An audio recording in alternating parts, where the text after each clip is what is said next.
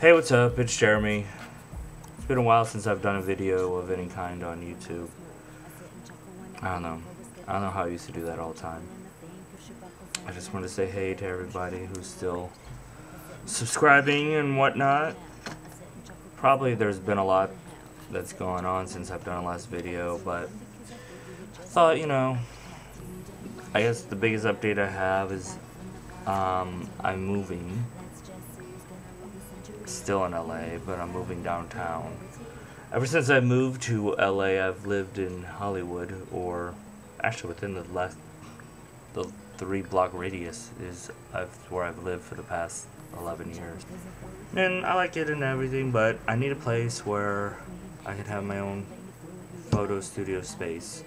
So that's why I've decided to move. Um, last week I took a few days off to look.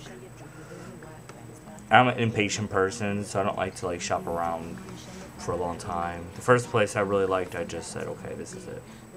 Otherwise, if you think about something too much, you might not do it. I just like to just do it. Oh, that sounded stupid. So, I got a loft downtown.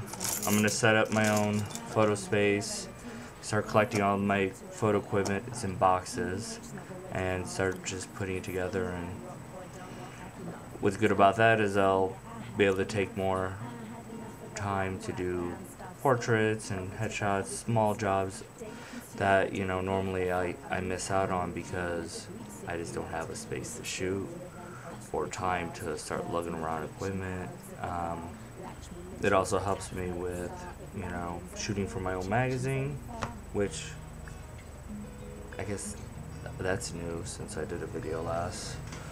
Um, yeah, I know I put out my own like zine, printed zine. Um,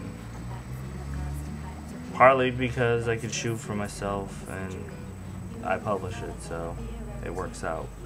I get to work with great other photographers and collaborate on projects, so it's been good. I probably look older than my last videos. Oh, look at that. Mm. I'm a little rounder too. Yeah. Growing up.